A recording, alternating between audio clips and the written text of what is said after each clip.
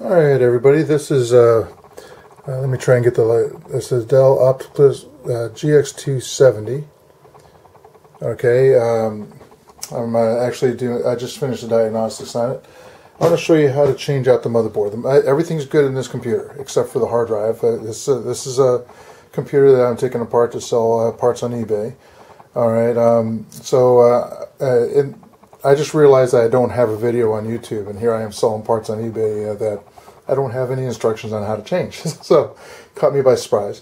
Anyway, so uh, it's going to be a benefit for those who, who uh, receive the motherboards or buy a motherboard that change out, change it out. So here we go. Okay, the Windows is not on the hard drive. In fact, there's no hard drive in here. I'm going to put a bad hard drive in just for illustration. Uh, show you how to disconnect it. I'm running the right diagnostics utility. Make this like it's Windows. Okay, so it boots up, it starts, and we're able to operate it. So here we go. Now there's some things we have to do before we start pulling anything. Okay, the power cord's still in. Alright, so what we're going to do is uh, we need to disconnect all the power in the back, but I want to show you something. We disconnect the power, and this light stays on, right there. Means that your capacitor is in here, and then your power supply uh, still has power. If you start pulling your memory chips, you're going to have problems, okay, uh, because power is still on the motherboard. So we want to make sure that light goes out and it will. And then we can start doing things on the on the motherboard. Uh, it, it, it just went out, so uh, so we are safe to start doing things. What we're going to do is pull up the shroud. Okay, um, take a look at your capacitors. All right, they should be all flat. It's hard to get on an angle here to actually show you, but they should be. Every one of these capacitors, these silver top things, should be flat all the all the way around. And back there, underneath the uh, heatsink, that little that little heatsink's hard to look under, but you need to get under, then take a look. Look uh, across all those capacitors. I'm going to break from this video real quick to show you some uh, capacitors that have popped on different motherboards, not on this one. Okay, so you have an example of what to look for.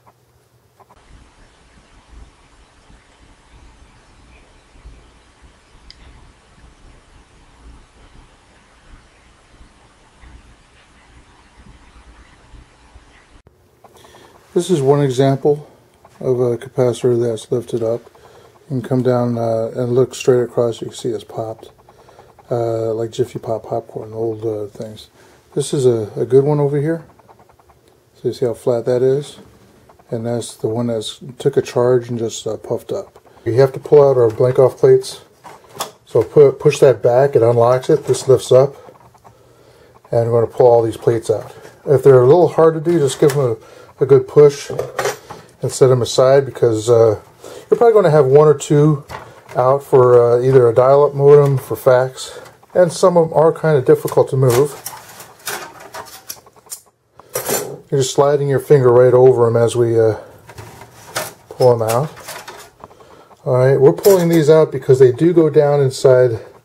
So sometimes they intercept with the motherboard. This one's not. But I, I pull them out anyway because we do have cards uh, that would be on on these sometimes. So it's up to you uh, if you want to pull those out. I do because I like I like the, the light coming through, so I can see what I'm doing anyway. All right, it gives me more light, even though my light's up here. Okay, so so uh, now we're ready to get inside. Um, we're going to take out uh, just the motherboard. Um, the memory we, we could pop out. I'm not going to pull the processor off because then I have to get some of the thermal uh, gel that goes on between the the heatsink and the processor. So I'm not pulling that off. I'm just going to show you how to replace this motherboard. Alright, so uh, here we go. Alright, we have uh, the lights turned off. Okay, we're going to ground ourselves, continuously touch the frame. Alright, because we don't have, uh, normal end users don't have a, a, strap to go around the wrist and clamp onto the ground.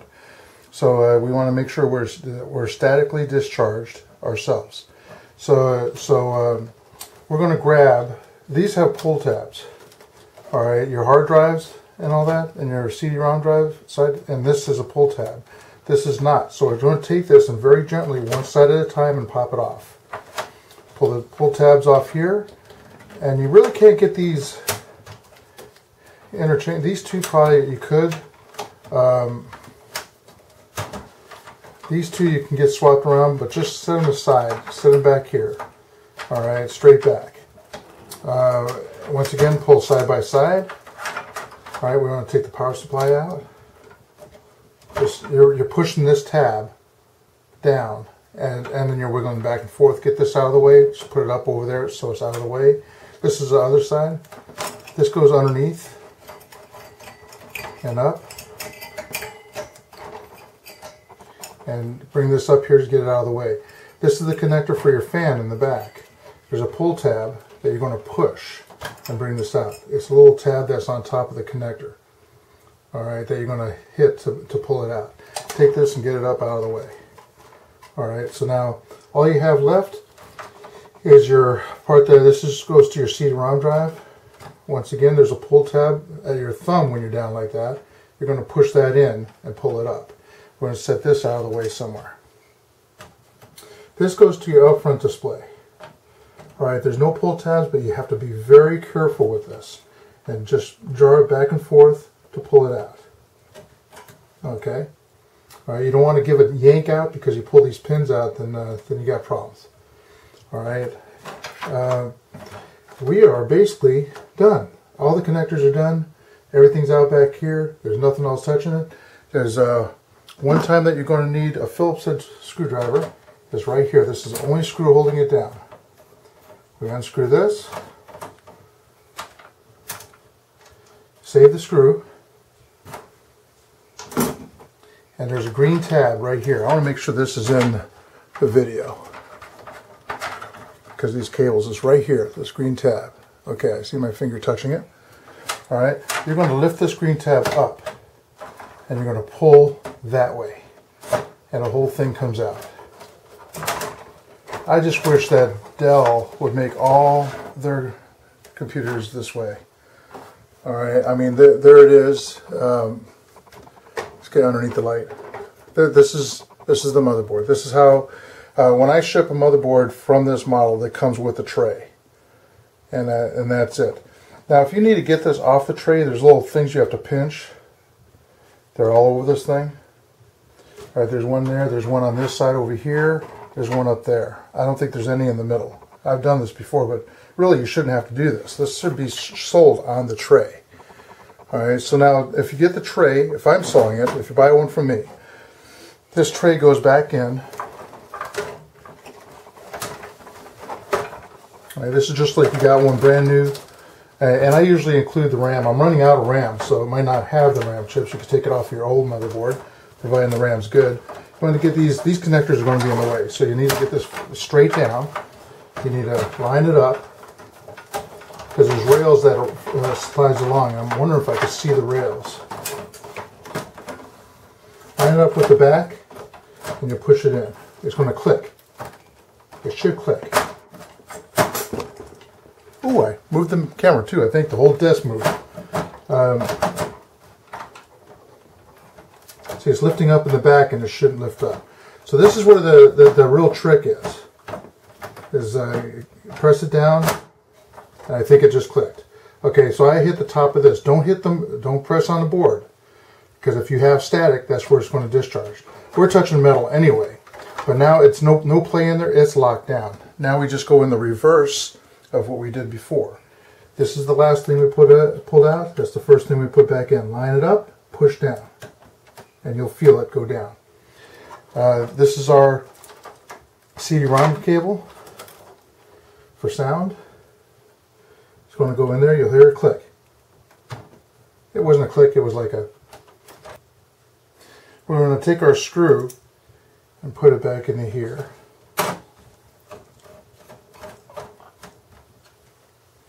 And we're going to come back here, put our blank off plates back here. Now you notice the screw holes up there.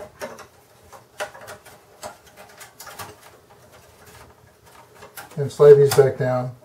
That's only if you pull these out. Okay, I, I normally do only because I've seen them too many times actually slide into a part of the motherboard and we couldn't get it out.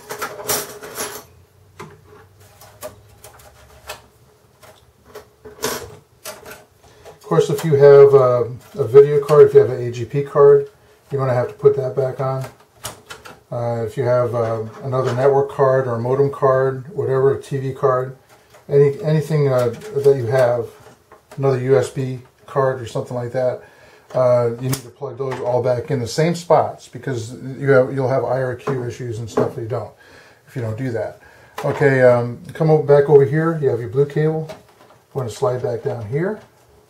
We're going to take our other cable. These all have keyways. You can't mix these. You can't. When you push down, push on both sides and go straight down. Uh, do not want to bend a, a, pin if for some reason you're off center or something. So uh, work on them, push them all the way down. Uh, take our um, power supply, push that down. This power supply comes over, goes into this one. They all have tabs on them that clicked, went down. This is our uh, CPU fan.